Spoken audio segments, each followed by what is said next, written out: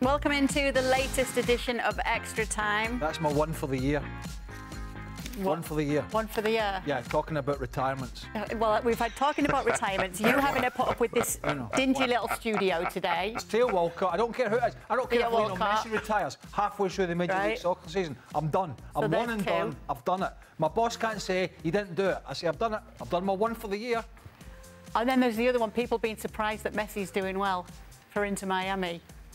And you're still happy. You're still not that annoyed right now at this stage in the show, you. What do you mean this stage in the show? There's a few things that could have annoyed you through the last hour, and uh, we've still got you in a good mood. It's actually no, actually, I'm finding this chair.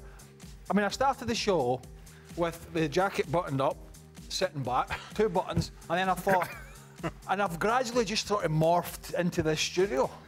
Stevie was happy with the chairs yesterday, to be fair. Much comfier, he Yeah, said. he said, but how did how did when how did he, how did Stevie cope without his belly hitting? I'm not, I'm moving on. i that came up yesterday, and he said there's no way you would have said anything like that about him. I mean, did he did he like? I- and I did, acted did dumb did, and he- said did he like nothing. did he like squeeze it under the desk like that, or was it like? Hmm. Body shaming, Right, Stevie. No need I'm for that. serious, All I'm right, going to- for all, over or under 45.5 or 45 slash 5 goals and assists for Kane in all comps this season. 40, uh, goals and assists. Is that goal contributions then? For over under 45 goals plus assists. Okay, goal contributions, 45 and a half. Wrong. Over. Over? Over. Yeah. All right. Definitely over. Yeah. They're going to play like Maiden. 60 games, aren't they? So, yeah, over. Shaka? I'm gonna need him. Over. I'm gonna need him. Goal contributions over. Yeah. Over. Over and out. Next question. Will Haaland break his goal record from last season now that it, De 50? Bruyne is out for Was it- four months? Was it 52? Yeah, if it's in all competitions. It's all competitions. I never get this. Yeah. I never get this when people say, "Well, it's Premier." I don't. You know, when a player plays, do you know when a player plays and he scores goals? Not that I scored. I scored a few. Uh, at the end of the season, you count how many goals you scored. You don't count what competitions you scored them in. Okay. Count the goals. Goals are goals. So 52 goals. Which is incredible because he plays in all these other competitions and the goals still count. It's not just the Premier League. And Jimmy Greaves is the top scorer in the Premier League. It's not Alan Shearer. Not the Premier League. English Division One. Can't stand this. We're getting you more He won't get more than. No, I think he'll be under. That was an amazing achievement last year. Okay. I think he'll be. What's the question? I think he'll be slightly. I think he'll. I think he won't get to 50. Shaka? Hmm. Agreed. Under. Still amazing though. And yeah, obviously. Nedum? Yeah, I think under, but I don't think it's necessarily because De Bruyne's out. I just think it's because 52 goals in a season was ridiculous, and to expect him to do it every single year, again, also feels a little bit ridiculous. Okay. Yeah. I'm just laughing because we almost we almost got you a little bit at your breaking point there. What, what do you want to I won't mention all competitions again. Who finishes with more goals in all competitions this season? Rashford or Saka? What? Who finishes with more goals this season, Rashford or Saka? Oh. Uh,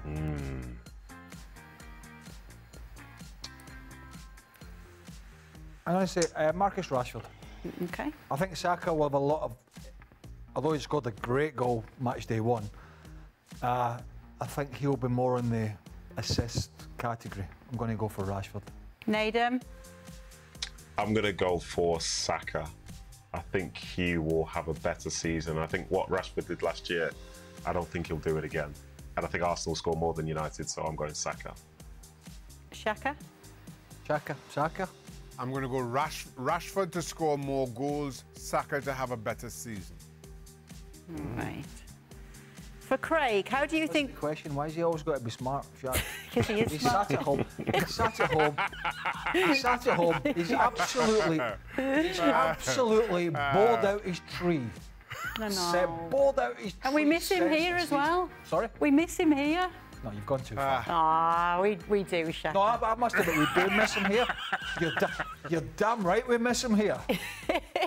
You're, you are, that's the truest thing you've said today. We damn well miss him here. Now, is there any chance, oh, Have you getting a day off? is there any chance of that man coming to Bristol? Look, hold on, hold on, hold on. Breaking news: retirement. Ronaldinho. Do the show again. Do the show again. Do the show again. Do the whole show from the top. From the top. But, Don't joke about that because that's boss- Our happened. boss, one time, our boss, right? he- he's not watching. I know he's not watching. He is watching. He never misses a minute. He does. He does. That, that's a lie. He's literally just texted our producer. No, no, that's a lie. That's a lie. He's, he's shopping. And the producer here, he'll cut, he'll cut this. We had to talk once. He said, one of the shows years ago, he went, I came in and they went, I said, what's this? Balotelli's birthday. I said, we got to talk about it. It was Balotelli's birthday. It came from the top. That's where it came from. The, top, That's the top. the Grand High So I know where that Theo Walcott thing came from today. Right? Straight from the top. Straight from the top. And the producer, he was like, eh, I don't really want to run it in because he's going to lose his marbles, but I don't want to lose my job, so I'm going to run it in anyway and take a chance. So I'm waffling now, and come on, let's go. He is I'm watching. sacked. I knew he'd be watching. He'll need, if I get sacked, he'll need to come in. Bill, I'll go and pick him up. For Craig, how do you think Ward Prowse will do at West Ham, even if Paquetá leaves? Sorry. Paquetá's getting, he's allegedly Yeah, but, been, so how do you think Ward Prowse will do at West Ham? I think Ward Prowse will do, uh, I think he'll do great at West Ham. I think he's a really tidy player, very experienced, set pieces. You could argue the best set piece, uh, what's the word I'm looking for? Specialist? Specialist, taker, architect, best set piece guy in the country, you could argue. What you like, I feel like you went for the, the most rubbish option in the end. the best set piece guy. The best lad who scores set pieces. I I Whatever I mean. Well, I was racking my brains and I realised there wasn't a lot of them. Uh, yeah, so I think he'll do. I think I, I think he'll, he'll do great. The Paquetá is a really interesting one. I'm not going to get into it because there's a potential probe, but it's just raised its head, which is which I think has scuppered the City move as well. Uh, but yeah, I've always liked Ward Prowse, and you know he's been a great stalwart for Southampton, but they've gone now, and uh, yeah, I think he'll do well for David Moyes. Shaka, if you could only have one player in your team out of Sandro Tonali, Bruno G, or Joelinton, who would you pick and why? Uh, Bruno Guimaraes. Bruno, Bruno Guimaraes has been outstanding since since his arrival, and and, and, that is in no way kind of discrediting the player that Joelinton has, has, has turned into. I, I, I love Joelinton, and where we've seen we've seen what Tonali can do, albeit for, for, for 90 minutes. But Bruno Guimaraes, I, I mean, he has been simply outstanding for, for the last two or three seasons. He, he's that's a, an easy pick for me. Just while we're here, did anybody see that the Newcastle lads had a bit of a joke with Tonali? He asked them where he should go for dinner, and they sent him to Wetherspoons, so he got a reservation Got reservation. at Wetherspoons, and uh, which is a very cheap and cheerful pub chain Very. in England, very cheap and cheerful, and that's why they sent Tonali. It's not that the Italians like the food or anything, or a little fussy. He looked happy enough in the pictures anyway, but it really did make me giggle. tell me you went for the uh, all day breakfast. Oh, something with gravy. Uh, yesterday, the guys shared some advice managers gave them that has stuck with them. What advice did older players or veterans give the guys that they still remember and would give to young players just breaking through today? Anything that stands out to you, Nedum? Um, I think it's just a big thing to, in my opinion, to just be asking questions and try and figure out what the manager or coaches really want from you. Because I think some people come in and they think they're doing well, but they're actually doing the opposite. So I think as quick, as soon as you can learn your craft, the better I think your career can be. Because some people don't figure out till it's too late. So I'd probably say that. Make sure you ask the question, ask questions of people that have been there, done that, and are there to try and make you a better player. Did anyone put their arm around you, Nedum, that, that stands out during your playing career?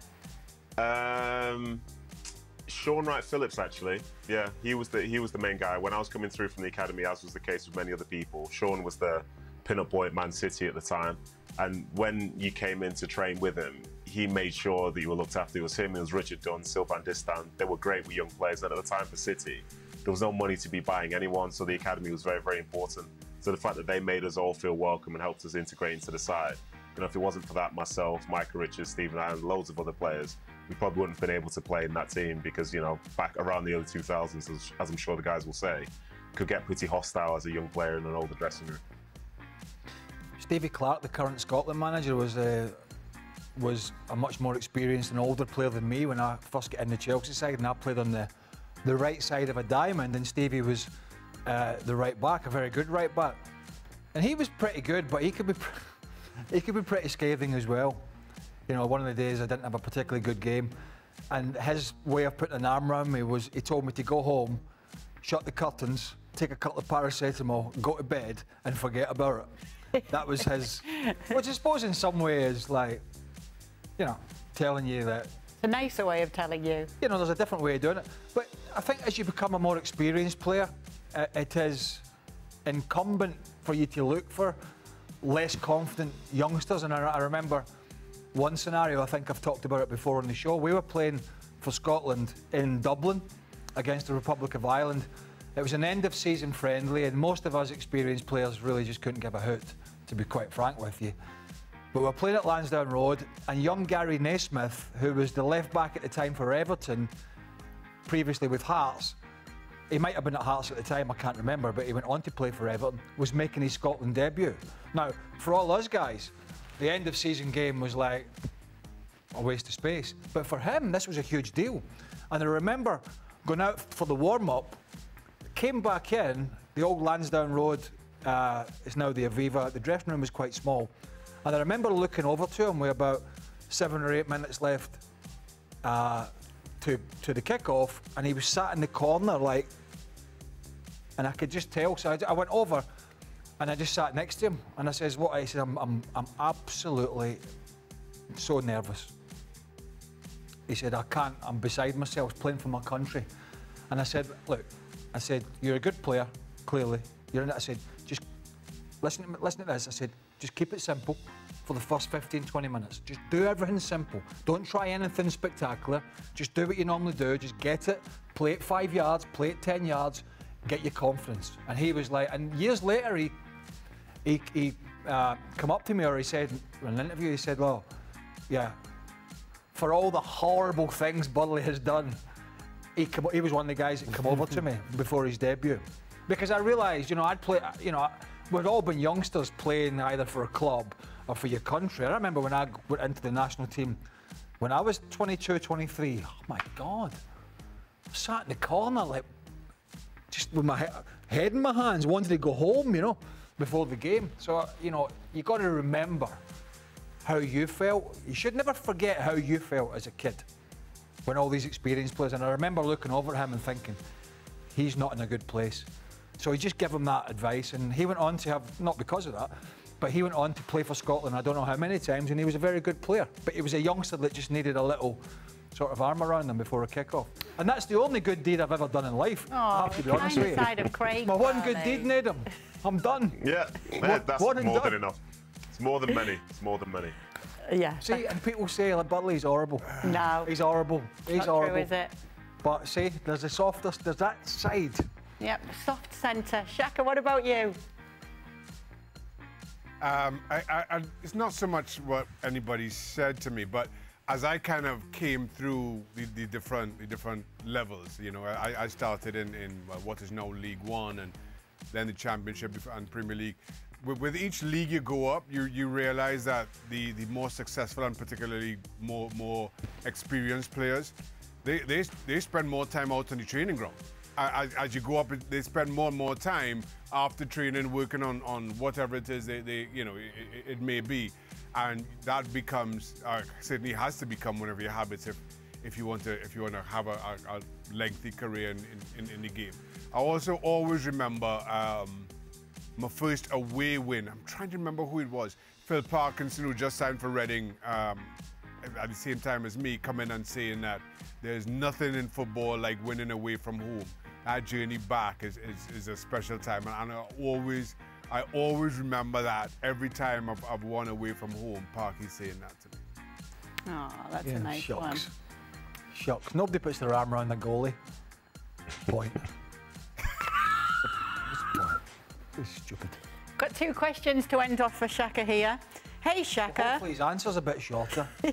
We're past Thursday. Where are last week's rankings? Those background equations aren't for nothing, right? Rankings to say. I, I start my rankings after game four of every season. You got a computer at home, haven't you? Put your I need data. I need data for the algorithm to work, and it, I need to have four games worth of data. Otherwise, But you've, you, you've, doesn't- you've usually doesn't you've work. usually got Hang minions running around. He's around. just bought himself a few more weeks there, even by throwing out the number four. I'm telling you now. I'm telling you. I'm, I'm, I'm telling. I'm telling you now. We'll see Santa before we see him. Last question. How's the Shawshaka redemption coming along, Shaq? Listen, Dad, Dad sent me that hashtag a couple of days ago, and I, I only just stopped laughing. It's um, it's coming along. I'm, I'm making slow but steady progress. I, we've decided on what poster I need to get to put up on, in my cell to make sure nobody knows I'm tunneling my way out of here. We've decided Yeah, who that is we, it? we want you to put the poster up of that goalkeeper that never talked to you, Portsmouth. Kos- Ko- Ko- Kostas Chalkias, the Greek goalkeeper who came Yeah. to Pompey. Nobody will look behind that poster, I guarantee it. I'm, I'm Bit saying, of a difference tunnel between. Rita Hayworth and him. What was the guy's name in Shawshank? What was the guy's name? I was thinking about this today when I was driving in. Yeah? Was it Andy? Andy DeVr- Andy Dufresne, Defray. Dufresne, yeah. Andy Defray. There he is.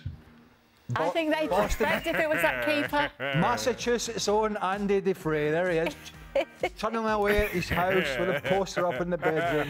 I bet the algorithm can't do that for you. Uh, that, that's right. Uh, algor- algorithm is no good at, at tunneling. Uh, Listen, I know that. Shaq, if we if we've got a big a big retirement announcement again, would you come in for that? You know, big one like that. it might be mine. At this rate. No, come back. Shaka, we miss you. We miss you. All right, that's all we've got I time tell what, he for. looks like he's, he sounds like he's having a great time, doesn't he? I bet he is. He's got his feet up, he's got his slippers on, his pyjama buttons. We'll see you tomorrow from the studio, no doubt. Shaka won't. Well, thank you very much for watching ESPN on YouTube. For more sports highlights and analysis, be sure to download the ESPN app. And for live streaming, premium content, and let's not forget as well, ESPN FC seven days a week. Subscribe to ESPN Plus.